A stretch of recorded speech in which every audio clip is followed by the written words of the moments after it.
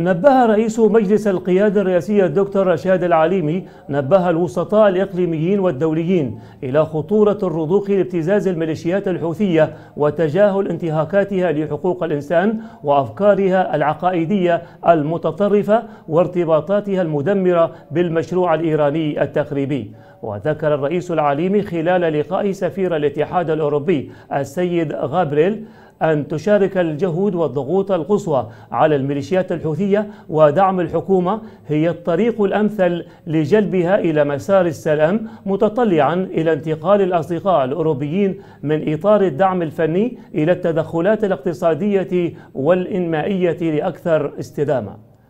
كما بحث نائب رئيس مجلس القيادة الرئاسي اللواء دروس الزبيدي الجهود الإقليمية والدولية الهادفة لإيقاف الحرب وإحلال السلام في المنطقة وتعزيز التنسيق المشترك بين بلادنا وجيبوتي لضمان حماية خطوط الملاحة الدولية في البحر الأحمر.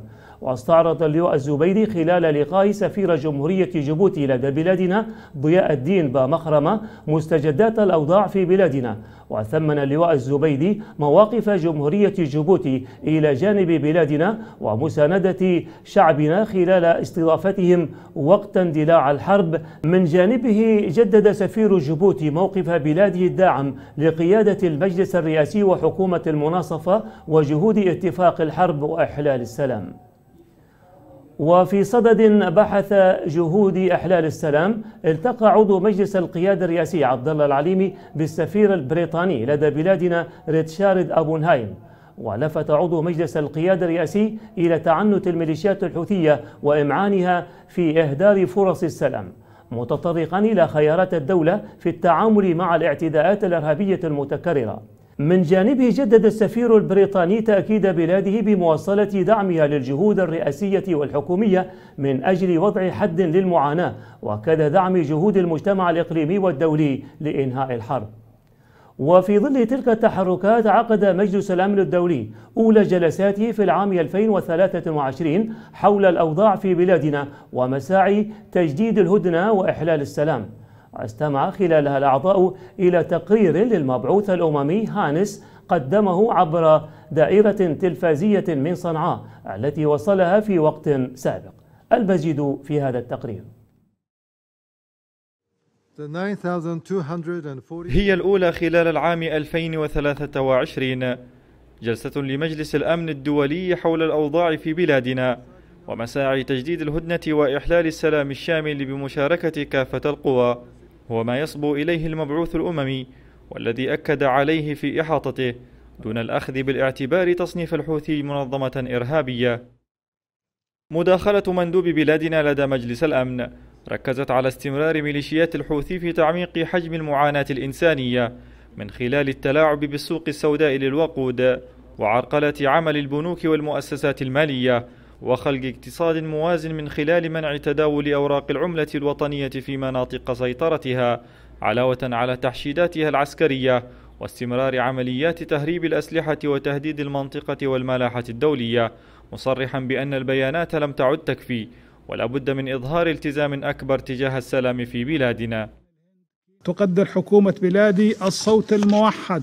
للمجلس في إدانة الهجوم الإرهابي الحوثي في الحادي والعشرين من أكتوبر من العام الماضي في البيان الصادر عن هذا المجلس لكن البيانات لم تعد تكفي ولا بد من إظهار التزام أكبر تجاه السلام في اليمن من خلال استخدام كافة أدوات الضغط على الميليشيات الحوثية الإرهابية والنظام الإيراني الداعم لها. وعن الجانب السعودي الذي قال أن الميليشيات الحوثية رفضت تمديد الهدنة لمطامع سياسية وجهوية وتراجعت عن تعهداتها وأن مجلس الأمن أخفق في اتخاذ موقف بشأن الفظائع والجرائم التي ترتكبها بحق الشعب وأن تصنيفها كمنظمة إرهابية بات أمرا ملحا وضروريا. ميليشيات الحوثية رفضت تمديد الهدنة لأسباب سياسية ومطامع فئوية انتهازية حيث تراجعت عن التزاماتها في اللحظة الأخيرة.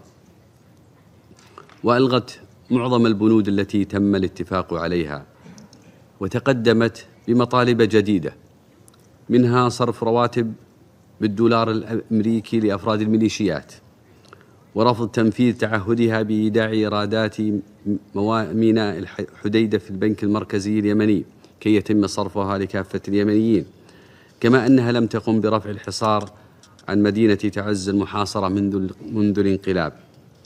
أي تصعيد حوثي على دول الجوار؟ سيقابل برد حازم من التحالف العربي.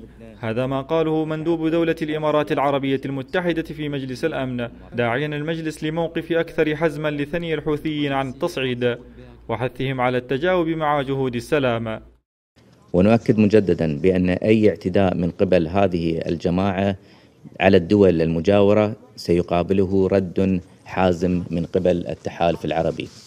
تصريحات أمريكية جاءت من مندوب الولايات المتحدة لدى مجلس الأمن بأن الحوثيين يحرمون الحكومة من مصادر الدخل وهو ما يؤثر على الاقتصاد ومعيشة الشعب.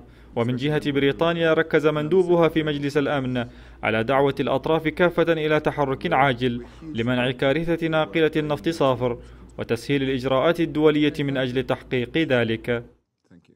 جلسة مجلس الأمن الدولي لم تلقى أي ردود أفعال إيجابية ووصفت بأجندات متكررة لا تخدم الواقع المعيشي والإنساني في البلاد وأنه كان من الواجب الإسراع في تصنيف ميليشيا الحوثي منظمة إرهابية واتخاذ إجراءات حازمة تجاه ممارساتها الإرهابية بحق المواطنين والمنشآت الاقتصادية. وفي إحاطته أمام مجلس الأمن الدولي والتي قدمها عبر دائرة تلفازية من صنعاء التي وصل إليها في اليوم ذاته استعرض المبعوث الأممي نتائج محادثاته مع مجلس القيادة الرئاسي والحكومة وأكد اجتماعه مع الحوثي والشركاء الإقليميين والدوليين في الرياض ومسقط وأكد المبعوث الأممي أنه لا يمكن معالجة العديد من القضايا المطروحة على الطاولة بشكل فعال في الوقت الحالي خاصة القضايا المتعلقة بمسائل السيادة مشيرا إلى أنها تحتاج إلى حوار شامل لافتا إلى أن البلاد تحتاج إلى اتفاق يتضمن رؤية مشتركة للمضي قدما من أجل تجنيب العودة إلى النزاع الشامل. حاثا كل الأطراف على الاستفادة القصوى من مساحة الحوار بفصل عدم اتساع نطاق الحرب. وقال المبعوث الأممي أن الوضع العسكري العام ما زال مستقرا مع الإشارة إلى بعض الأنشطة العسكرية في محافظات مأرب وتعز والضالع والحديدة. ولحج وعلى طول منطقة الحدود مع السعودية مضيفا أن الفترة الحالية تشهد تغييرا محتملا في مسار الصراع وأن الحوارات الدائرة تمثل فرصة يجب عدم تضييعها. ونوه السيد هانس أن عدم وجود اتفاق يتضمن رؤية مشتركة للتحرك قدما قد يزيد خطر التصعيد العسكري والعودة إلى صراع شامل.